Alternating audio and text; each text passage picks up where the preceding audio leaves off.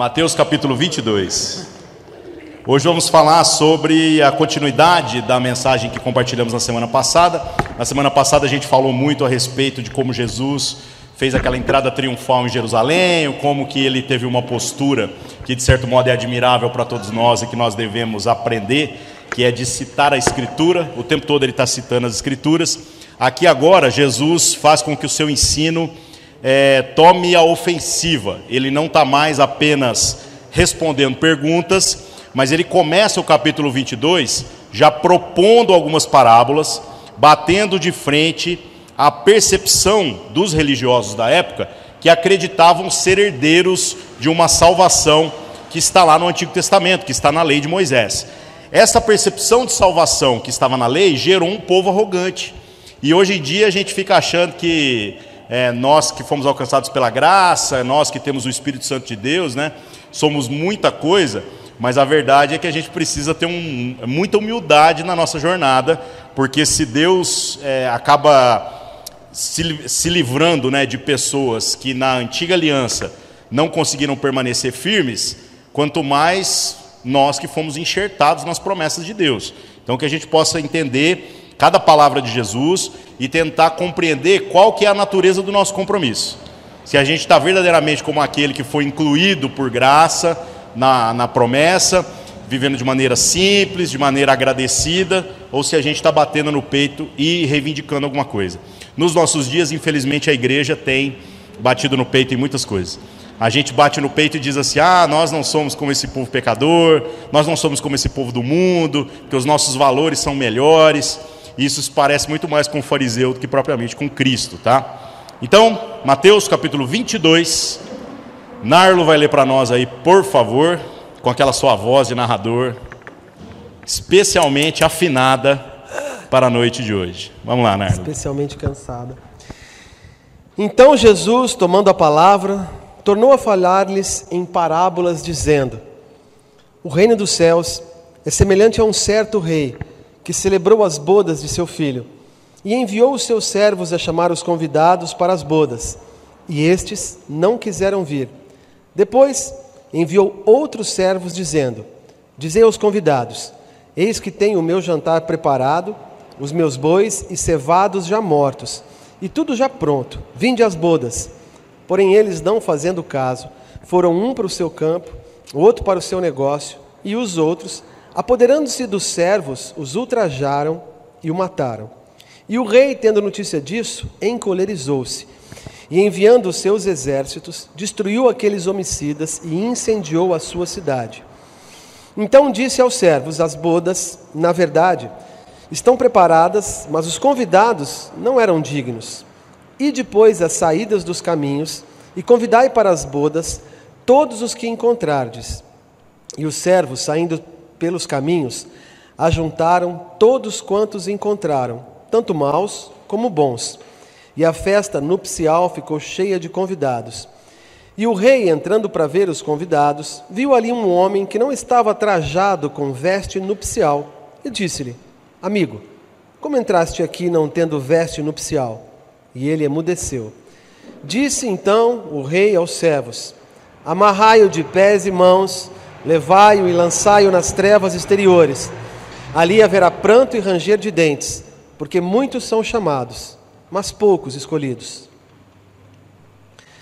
Então, retirando-se os fariseus, consultaram entre si como o surpreenderiam em alguma palavra, e enviaram-lhe os seus discípulos com os herodianos, dizendo: Mestre, bem sabemos que és verdadeiro e ensinas o caminho de Deus segundo a verdade, sem te importares com quem quer que seja, porque não olhas a aparência dos homens. Dize-nos, pois, que te parece? É lícito pagar tributo a César ou não?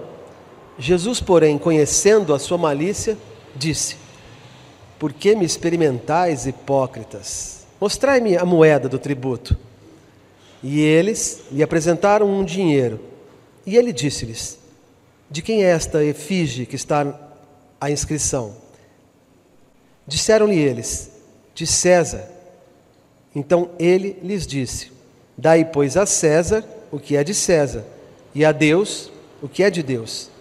E eles, ouvindo isso, maravilharam-se e, deixando-o, se retiraram. No mesmo dia chegaram junto dele os saduceus, que dizem não haver ressurreição, e o interrogaram, dizendo: Mestre, Moisés disse: Se morrer alguém não tendo filhos, casará o seu irmão com a mulher dele e suscitará descendência a seu irmão. Ora, houve entre nós sete irmãos. O primeiro, tendo casado, morreu, e, não tendo descendência, deixou sua mulher a seu irmão. Da mesma sorte, o segundo e o terceiro, até o sétimo. Por fim, depois de todos, morreu também a mulher. Portanto, na ressurreição, de qual dos sete será a mulher, visto que todos a possuíram? Jesus, porém, respondendo, disse-lhes: Errais não conhecendo as Escrituras, nem o poder de Deus. Porque na ressurreição nem casam, nem são dados em casamento, mas serão como os anjos no céu. E acerca da ressurreição dos mortos, não tendes lido o que Deus vos declarou, dizendo: Eu sou o Deus de Abraão, o Deus de Jacó, Isaac, o, o Deus de Isaac e o Deus de Jacó? Ora, Deus não é Deus dos mortos, mas dos vivos. E as turbas, ouvindo isso, ficaram maravilhadas da sua doutrina. E os fariseus, ouvindo que ele fizera emudecer os saduceus, reuniram-se no mesmo lugar. E um deles, doutor da lei, interrogou-o para, para, para o experimentar, dizendo: Mestre, qual é o grande mandamento da lei? E Jesus disse-lhe: Amarás o Senhor teu Deus de todo o teu coração, e de toda a tua alma, e de todo o teu pensamento. Este é o primeiro e grande mandamento. E o segundo é semelhante a este: é: amarás o teu próximo como a ti mesmo. Desses dois mandamentos dependem toda a lei e os profetas. E estando reunidos os fariseus, interrogou-os Jesus, dizendo: Que pensais vós de Cristo? De quem ele é filho? Eles disseram-lhe: De Davi.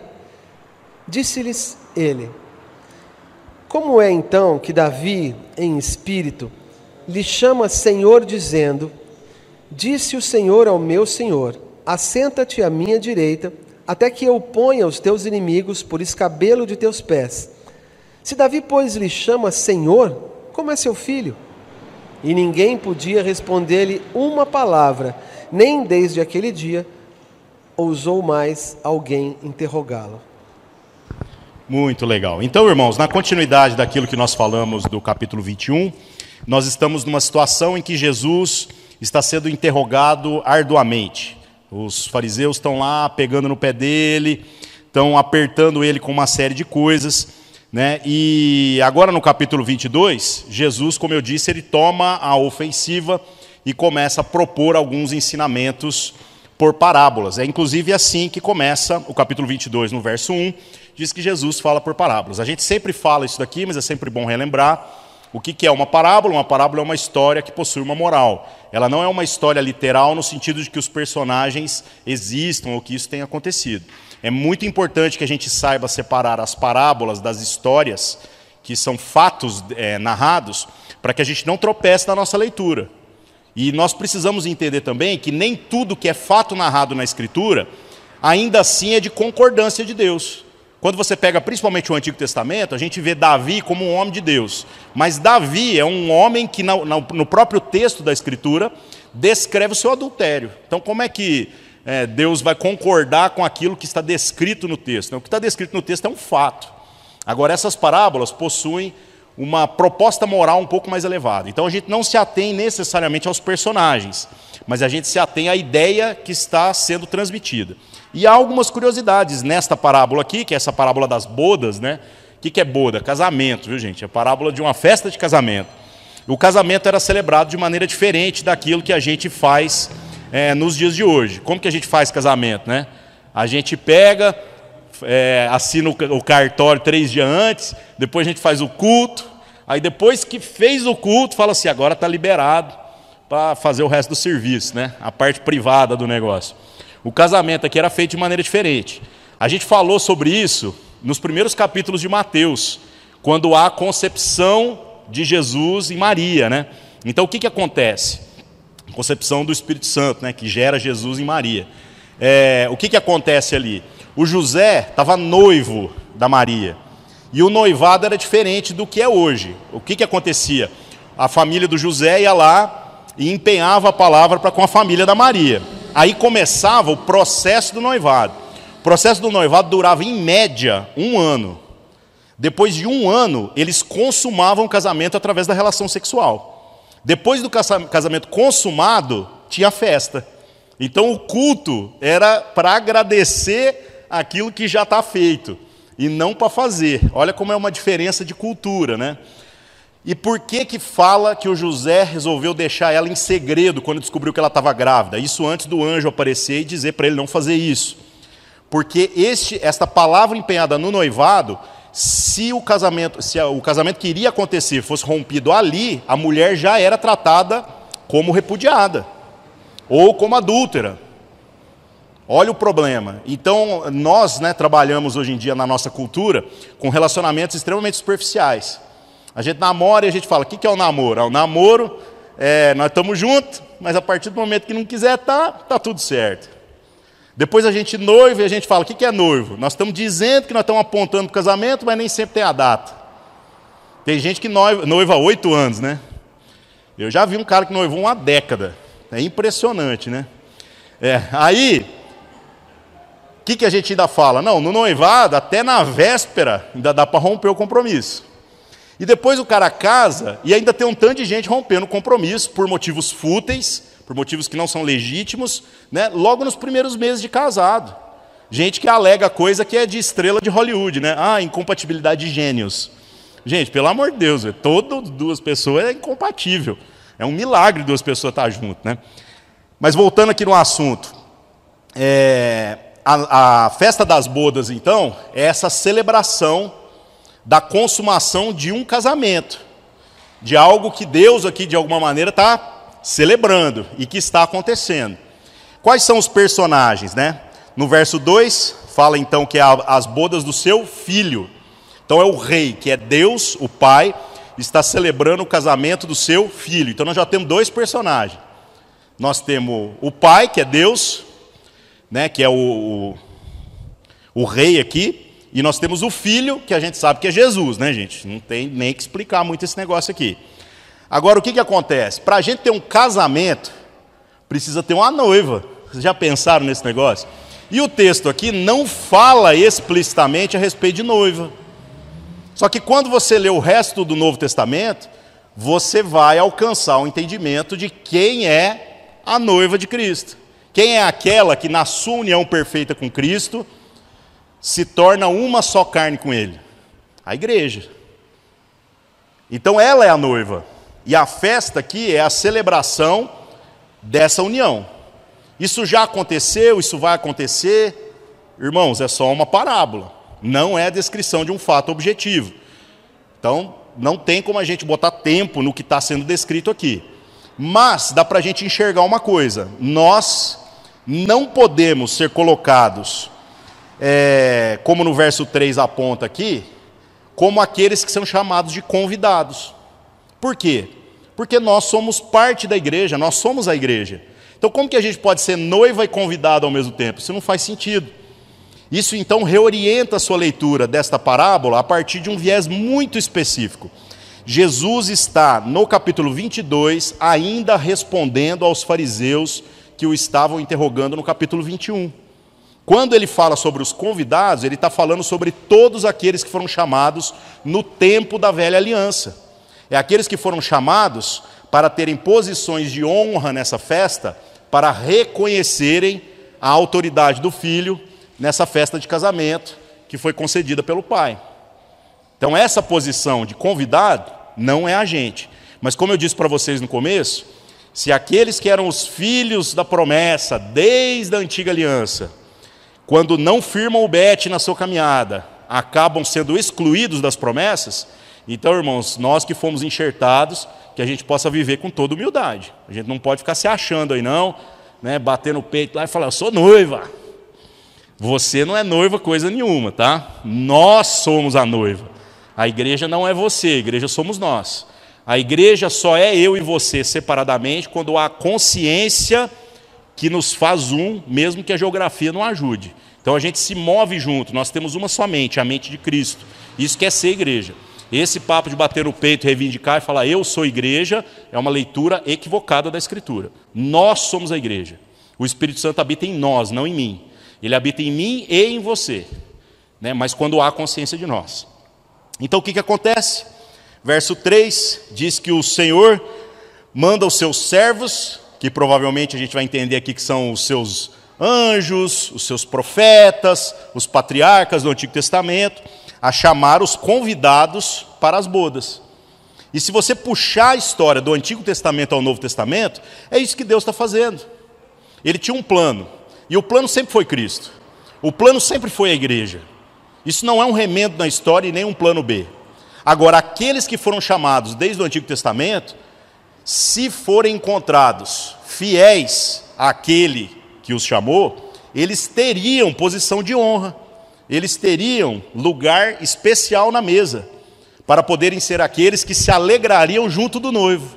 Ou seja, eles também em Cristo encontrariam plenitude de vida. Então, esta é a natureza da velha aliança que agora se funde com a nova aliança. Deus não jogou tudo fora e escreveu uma nova proposta, muito pelo contrário, é uma coisa só, sempre foi. Mas, estas pessoas aqui que foram chamadas, diz o verso 3, não quiseram vir. O pessoal não deu bola, né? Gente, como que era um convite de casamento na época? O convite era feito em duas etapas. Primeiro se mandava um mensageiro dizendo assim, ó, vai ter um casamento. Se hoje já dá trabalho fazer um convite, né, você imagina fazer dois na época. Depois você mandava um outro convite dizendo exatamente quando e a, o, dia e o horário. O, o dia, o horário e o local. Esse tipo de coisa, bem precisamente. Então, na primeira proposta, os convidados já fizeram questão de dizer que não iriam participar. Então, quem são esses servos que receberam essa resposta? Os profetas. Todos os homens e mulheres do Antigo Testamento que foram incumbidos dessa mensagem a respeito da vontade de Deus. No verso 4, diz que este rei agora enviou outros servos. Então, isso é normal. Agora é o segundo convite, o convite da confirmação mesmo. E diz, é, verso 5 eles, não fazendo caso, foi um para o seu campo, outro para o seu negócio, e outros, apoderando-se dos servos, o ultrajaram e mataram. Exatamente tudo que fizeram com os profetas do Antigo Testamento. E fizeram com João Batista também, com todos os profetas da história. Né? Nenhum profeta termina bem. Então hoje, quando a gente bate no peito fala assim, eu sou profeta do Senhor. Amém, irmão. Mas você está pronto para se ferrar? Porque profeta que só recebe aplauso, honestamente, é falso profeta. Cuidado com esse negócio aí. Tá? Profeta tem que assumir aí todo o pacote do que é ser profeta, tá? Bom, o que, que acontece? Verso 7 diz aqui então que o rei, tendo notícia disso, ficou nervoso, enviou seus exércitos, destruiu aqueles homicidas e incendiou a sua cidade. Essa expressão incendiou a cidade, ela tem uma particularidade histórica que é muito interessante. Quando a gente percebe que Jesus está falando dos judeus, ele está falando daqueles que receberam a proposta para a salvação desde antes da graça, né, através da lei, esse incendiou tem um peso imenso. Porque no ano 70 depois de Cristo, a cidade foi incendiada e o templo foi destruído pelos romanos. Olha o tamanho da complicação. Então essa palavra aqui, incendiou a sua cidade, para os cristãos do primeiro século, teve um peso imenso. Eles falam assim: rapaz, Jesus já estava predizendo o que haveria de acontecer. Então eles entendem que foi a permissão de Deus que fez com que os romanos fossem lá e incendiassem a cidade.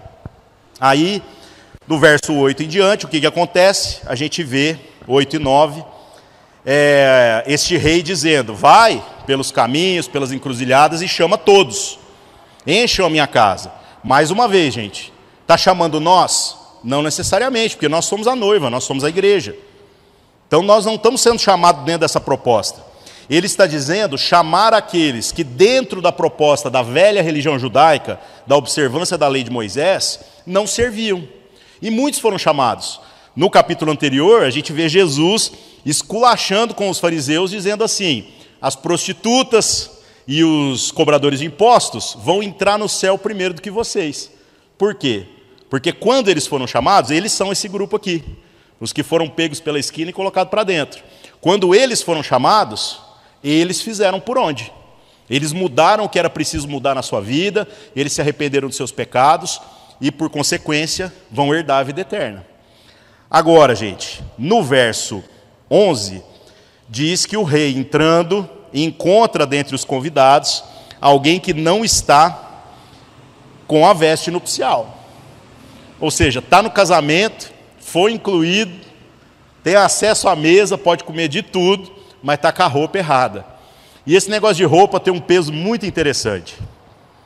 Tem um peso muito interessante na Escritura, em diversas passagens do Antigo Testamento, e em algumas passagens do Novo Testamento, mas a que mais me chama a atenção é a passagem que a gente encontra lá em Apocalipse, quando fala sobre aquela multidão que se apresenta perante o Cordeiro, Cristo, né, e que possui vestes lavadas com o seu sangue e que são tão alvas que o brilho delas era uma coisa que ofuscava a vista. O texto do Apocalipse diz que as roupas eram tão brancas, mas tão brancas que nenhuma lavadeira do mundo conseguiria fazê-las ficar tão brancas. Né? Nem homo triplação faria um negócio desse. Então, essa é a perspectiva. As vestes, Vênice, nem Vênice faz isso.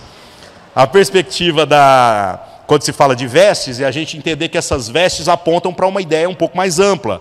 As vestes é, é exatamente é, o manto de justiça que aqueles que creem em Cristo, em Jesus, como enviado de Deus, como filho de Deus, recebem gratuitamente. Estas são as vestes. E por esta conclusão, por esta, por essa, este apontamento, a gente chega na conclusão, aqui no verso 12, qual que é o problema desse cara? O porquê que ele está com a roupa errada? Todos foram encontrados pelas esquinas e colocados para dentro. Mas o que, que tem de errado na roupa dessa pessoa? Verso 12 diz que esse rei vira para essa pessoa e diz: Amigo, como entraste aqui não tendo veste, vestido nupcial? E ele emudeceu. Então vamos mastigar isso aqui também, gente. A palavra amigo, descrita aqui neste versículo, significa tipo assim, companheiro, ou tipo assim, é, é o jeito de você chamar o garçom. É um nome que você dá para a pessoa que você não sabe o nome. Né? Olha a dificuldade de traduzir isso para o português, gente. Amigão, né? Amigão seria ótimo, né? Colega. Eu, eu colocaria colega. Colega, chega aqui. O que é colega? É alguém que eu não tenho intimidade nenhuma, né? E o que, que acontece? Então o rei chega e fala: amigo, colega, amigão, né? Chegadão, como é que é os outros nomes aí? Brother. Brother é tudo a mesma coisa, né? Como entraste aqui? Né? E aí, o que, que é o apontamento com relação à vestimenta dessa pessoa? Essa pessoa, ela está na festa, ela usufrui daquilo que está na festa, ela está próximo de tudo aquilo que está acontecendo, mas ela não faz parte da festa. E isso é muito parecido com aquela outra narrativa de Jesus que diz assim: Apartai-vos de mim, vós que praticais a iniquidade. Eu nunca vos conheci. Quem são esses? aqueles que, em nome de Jesus, fizeram sinais e milagres e curas, expulsaram demônios, fizeram tudo que a televisão mostra um tanto de gente fazendo. Né? Mas isso não é sinal de que verdadeiramente nós estamos com a roupa certa. Essa roupa de justiça não é a nossa justiça. Essa roupa de justiça é a justiça da Escritura. Viver da maneira que Cristo nos ensinou. Então, que a gente possa olhar para o nosso coração aí e avaliar: será que nós estamos andando na festa certa, porque às vezes nós estamos na festa errada mesmo. Aí é mais preocupante. Se nós estamos na festa certa, nós já demos o primeiro passo. Agora, estando na festa certa, nós somos, nós somos conhecidos do noivo. Isso é importante. Outra coisa, nós estamos com as vestes corretas. Uma outra coisa que é parte da cultura aqui que é bem interessante é que quando havia uma festa deste porte, é normal que o rei enviasse as roupas para os seus convidados. Olha que coisa legal, hein? Então, quem realmente está com a roupa errada, não devia estar tá ali. Está ali é no oba-oba mesmo. E às vezes essa é a nossa condição, tá? que, que acontece? Verso 13: o rei diz a seus servos: amarrai-o de pés e mãos, levai-o e lançai-o nas trevas exteriores. Ali haverá pranto e ranger de dentes. Essa referência é muito similar a que Jesus fala do conceito de inferno, né, que seria o lugar onde estaremos por toda a eternidade, apartados de maneira definitiva da presença de Deus. Então vai ter um capetinha lá com um tridente assim, espetando a, a sua bunda, né? Não necessariamente. Não é assim que funciona. Porque tem gente que ia gostar se fosse desse jeito, né? Tem uma turma aí que gosta de um bagulho mais diferente. Não é assim que funciona. Nós estamos dizendo o seguinte: imagina o homem mais desgraçado sobre a face da terra. Vamos pensar numa pessoa que matou, estuprou, fez tudo o que podia fazer de errado e mais um pouco. Essa pessoa, por mais que ela seja um, um ser atormentado na sua jornada, ele ainda não experimentou o que é estar completamente apartado da presença de Deus. Porque a graça comum de Deus, que se estende por sobre toda a terra, o alcança independente de qualquer coisa.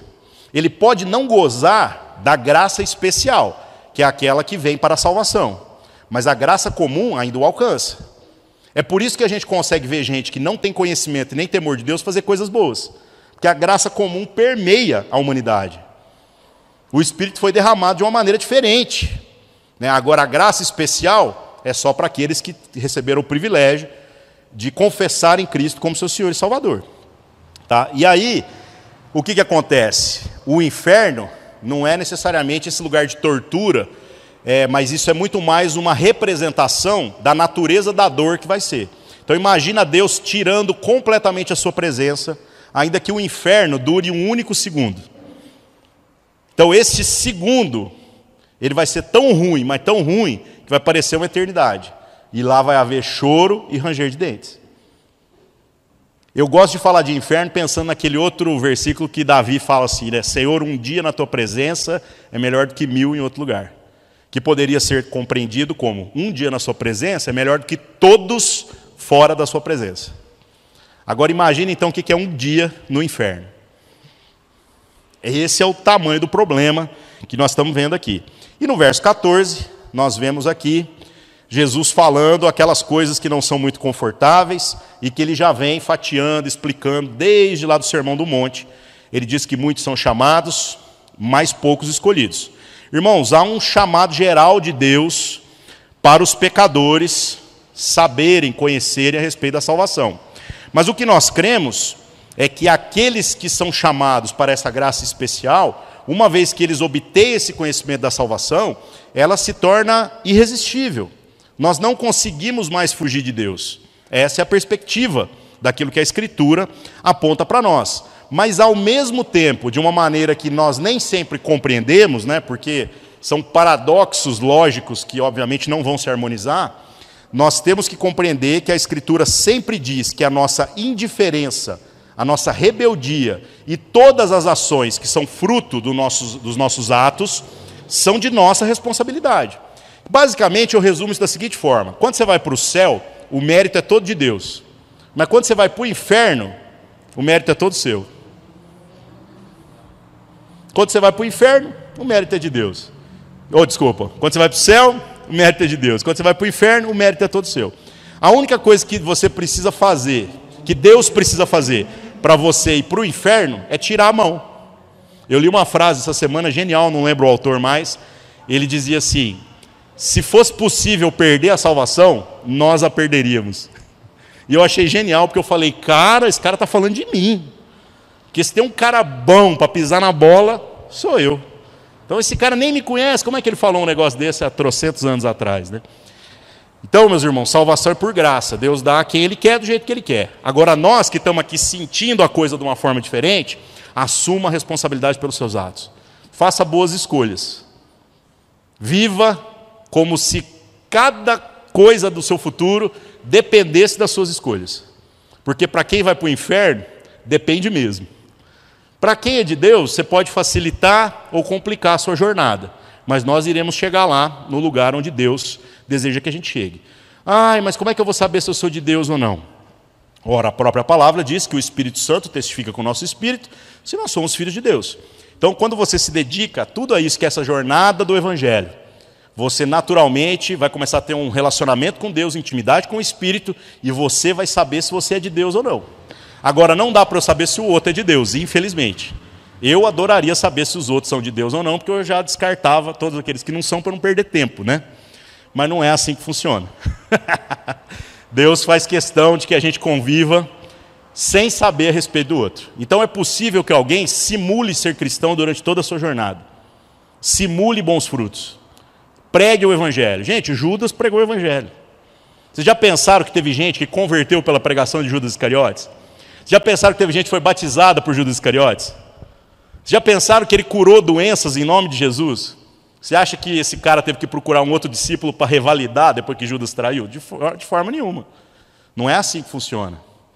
Então, que a gente analise aí a nossa postura, a nossa condição. Que a gente entenda que estar com Deus é um privilégio. E isso não é para todos. Porque está dizendo aqui que muitos são chamados, mas poucos são escolhidos. Então viva como um escolhido. E no final, deixa para Deus. Porque ele não escolhe errado. Ele sabe quem ele chama. Uma vez perguntaram assim para mim, mas Ari, se você chegasse lá no dia e descobrisse que não era você? Chegar lá, Deus fala assim, Ari, sinto muito, você pregou para muita gente, olha aqui seus frutos, bagulho. Você foi bom, cara, você mandou bem. Torceu para o time certo, fez tudo certo. Mas, Ari, você não. Aí, sabe o que eu vou ter que fazer, gente? Chorar compulsivamente, mas eu vou ter que me ajoelhar e falar assim: o senhor tem razão. Porque o pior é que ele tem, gente. Agora, se ele me levar para o céu, e esta é a minha fé, segundo a Escritura e segundo aquilo que o Espírito testifica com o meu Espírito, a alegria vai ser maior ainda. Porque eu vou me sentir como aquele cara que chegou na porta da Disney e não tinha o ingresso, mas foi passado para dentro. Né? Então, esse é, essa é a nossa condição. Nós somos colocados sem merecimento nenhum. Muito legal isso daqui, né, irmãos? Bom, no verso 15, a gente percebe que uma coisa acontece. Lembrando que eram os fariseus que estavam interrogando Jesus. No verso 15 diz que os fariseus é, saíram fora, foram embora. E eles começaram a pensar assim: como que nós vamos, planejando né, durante a sua saída, como que nós vamos derrubar esse Jesus aí? Como que nós vamos pegar ele em alguma palavra? Vamos armar aqui alguma coisa. No verso 16, diz que eles enviaram os seus discípulos junto com os herodianos. Eu falei sobre os herodianos também no passado, aqui algumas semanas atrás. Os herodianos eram algumas pessoas que faziam parte ali do, do, do clero da época, mas que eram simpatizantes do governo de Herodes. Tá? É, essa é a complicação. Então lá tinham muitos grupos, tinha os que odiavam Herodes, os que odiavam os saduceus, que eram os fariseus, porque tinha uma diferença teológica, Todo mundo odiava os, os publicanos, que eram os pecadores, os cobradores de impostos. Todo mundo odiava as prostitutas, os leprosos. Todo mundo, todo mundo mesmo odiava os gentios, que eram os não-judeus. Então tinha muito ódio envolvido aqui, né? Nessa história, a gente vê os herodianos junto com os discípulos dos fariseus. É isso que o verso 16 diz. Então, quem são esses discípulos, né? Estudantes dos rabinos, dos mestres. Então, cada mestre, ele tinha pessoas que estudavam com ele continuamente. Então, agora, para fazer o trabalho sujo, eles literalmente mandaram seus discípulos. E eles é que trazem essa pergunta ridícula do verso 16 e do verso 17. Né? O verso 16, gente, parece as orações que algumas pessoas fazem para Deus, né?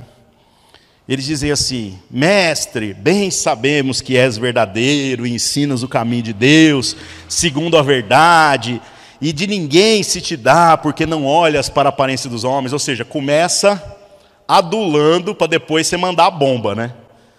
É muito ridículo isso aqui. Isso aqui também parece manual de gestão empresarial. Você precisa falar mal do cara, o que, que você faz? Primeiro você elogia, depois que você elogiou, fala assim: olha, a sua performance ainda não está tão boa quanto poderia. Ou seja, você não presta, é muito ruim, né? Então é muito ruim isso aqui. Os caras já nem leram aqui manual de gestão empresarial, mas já fizeram a mesma coisa. E no verso 17, é, trazem a pergunta. Qual que é a pergunta, né? É lícito pagar tributo a César ou não?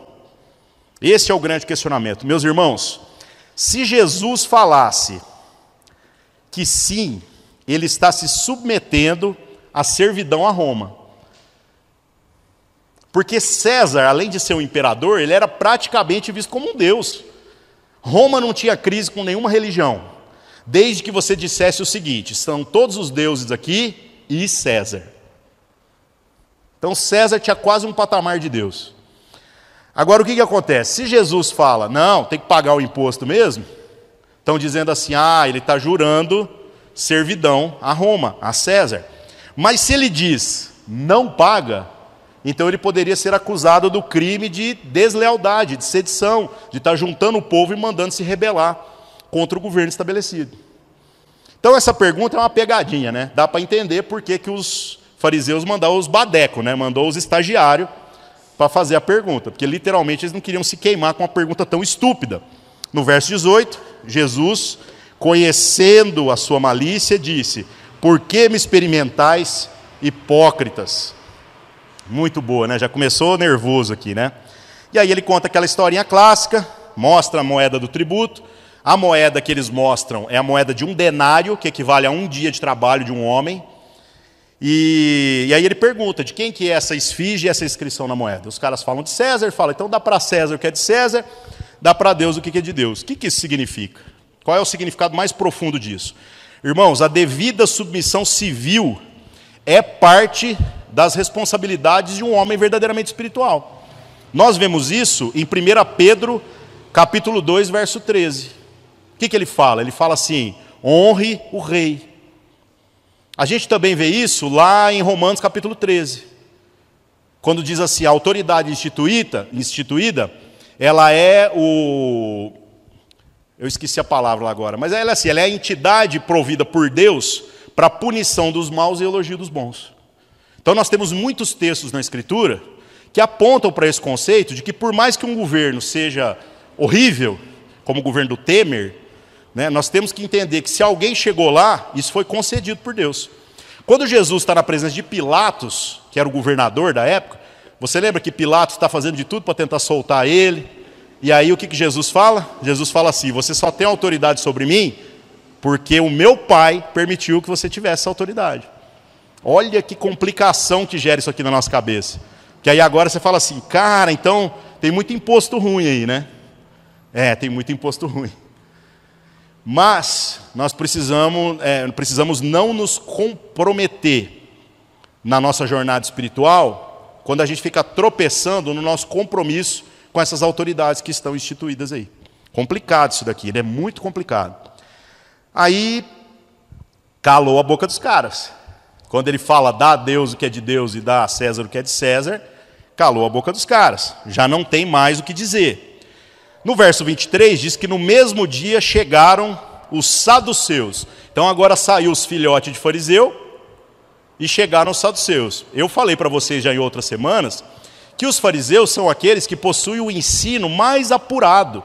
O melhor ensino dos mestres, Israel, dos mestres de Israel era dos fariseus, viu gente? Então cuidado quando você olhar o fariseu de uma maneira pejorativa. Obviamente esses fariseus aqui são maus fariseus, né? Mas os saduceus, eles são um grupo muito complicado. Porque eles não creem num tanto de coisa que o Antigo Testamento apontava. Eles basicamente não acreditam em nada de natureza espiritual. Eles acreditam basicamente que é só do jeito que vai a vida aqui e ponto, acabou. E Curiosamente, esses homens cuidavam do serviço do templo também. Então, olha como a religião judaica estava comprometida. Tinha os caras que tinham o bom ensino, mas o coração ruim, e tinha os caras que não tinham nem ensino nem coração, mas eram os caras que tinham um emprego no templo. Então a religião estava mal das pernas e mal com força, né? Aparece então os saduceus no verso 23 e pergunta, né, do verso 24 em diante, uma história também clássica e que é uma pegadinha. Qual que é a história, né? Eles fazem uma referência a Deuteronômio, capítulo 25. Na época em que o povo ainda estava caminhando para tomar a terra prometida e tudo mais, uma das coisas que era para ser considerada é a questão da pureza étnica.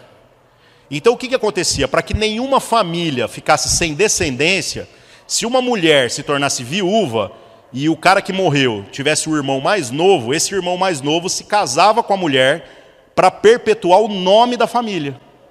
Esse era o propósito. Porque o nome era uma coisa muito importante. A gente vê isso pelas genealogias que tem na Bíblia, né? Fulano, filho de fulano, de fulano, de Beltrano, gerou não sei quem, né? Agora, o, a proposta aqui dos saduceus é uma proposta muito absurda. Ele fala assim: tinha uma mulher, casou com um cara, ele morreu. Não tiveram filhos. Então, aí, como não tem filho, enquadra exatamente no texto lá de Deuteronômio. O é, que, que eu falei, Deuteronômio? 25.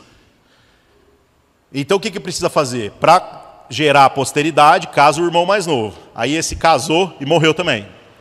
E aí eram sete irmãos. A mulher, a mulher é zica, né? Viúva negra, né?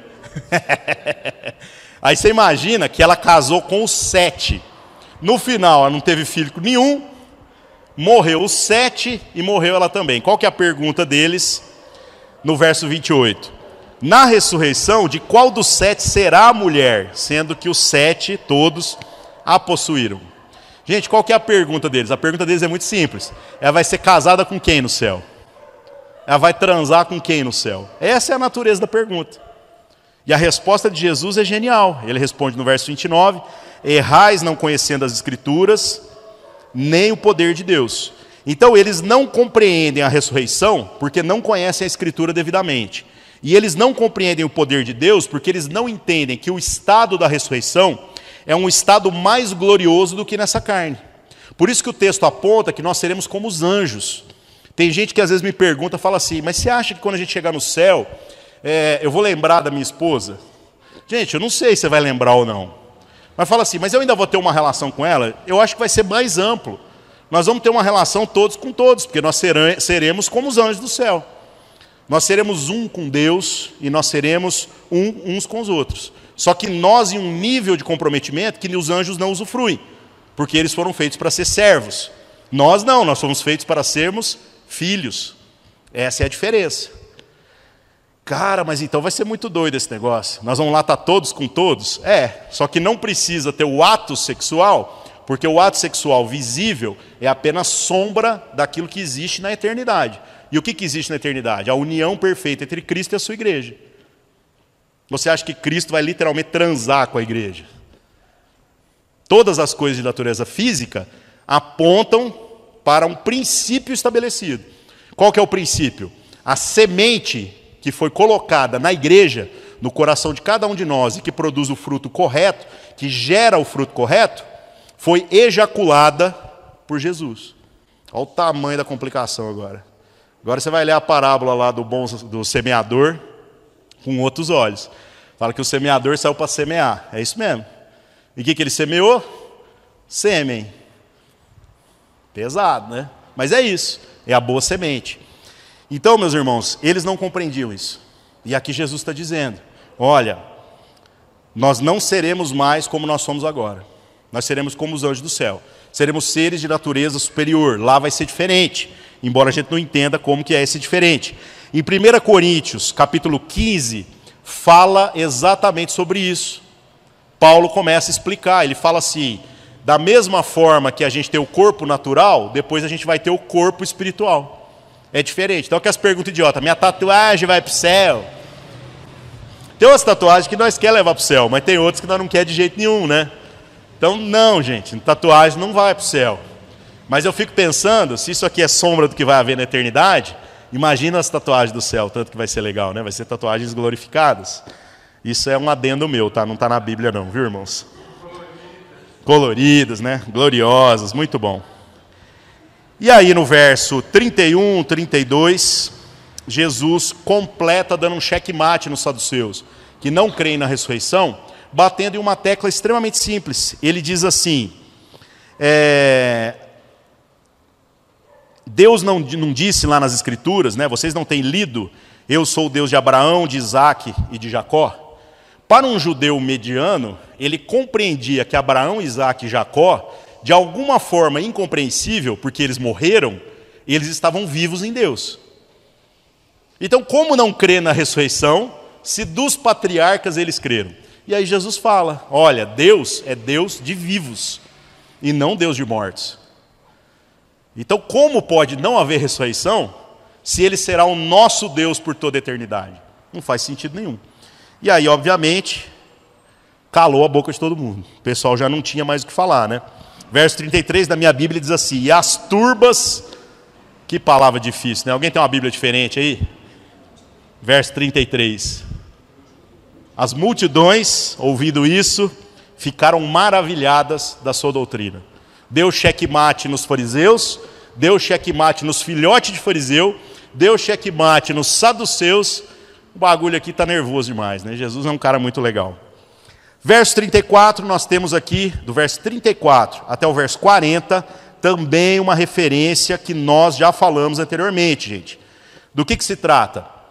Chega então agora novamente um dos mestres é, dos fariseus, se aproximam de Jesus e pergunta aquela coisa clássica: qual é o resumo da lei? Nós já falamos sobre isso em outras semanas. Isso é pegadinha, gente. Qual é o resumo da lei? Isso é pegadinha. Que dependendo como que ele responde, eles já atacam ele como um falso mestre. E o que, que Jesus faz? Segue o protocolo. Ele responde da mesma maneira que ele sempre respondeu, citando o ensino rabínico. Então, houve um fariseu lá atrás, no começo da doutrina dos fariseus, algumas gerações para trás, que sintetizou a lei e os mandamentos. Ele disse, porque, gente, nem todo rabino é ruim, viu? Tinha uns rabinos muito bons. Tinha uns caras que antes de Cristo chutou a bola e ela acertou na trave. O negócio bateu muito perto. E teve gente que fez gol sem conhecer Cristo. Tinha gente que lia a lei e conseguia pensar na graça de Deus. Então, nem todo rabino lá da doutrina farisaica é necessariamente ruim. Isso é um preconceito tolo.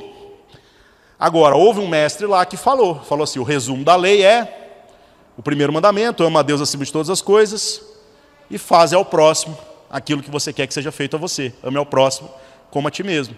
Eu contei essa história aqui outro dia e falei, inclusive, acho que no culto, né?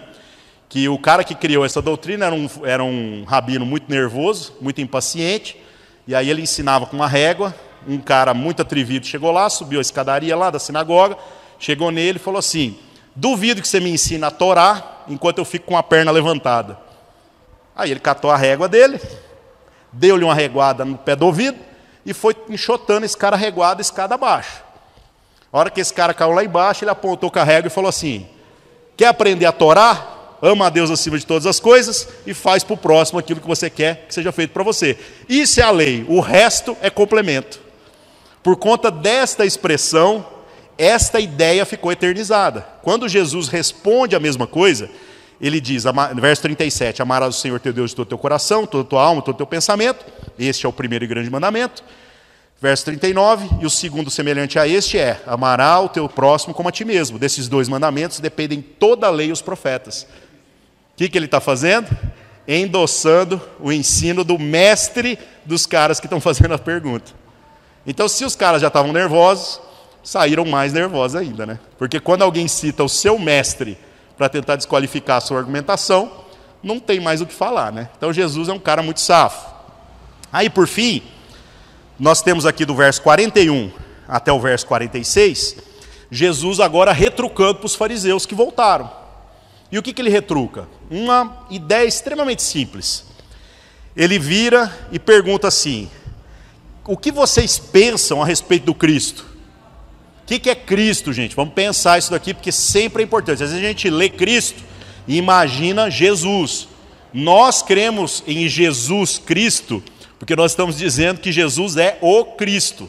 A palavra Cristo significa a mesma coisa que Messias, que é a mesma coisa que o ungido, ungido do Senhor.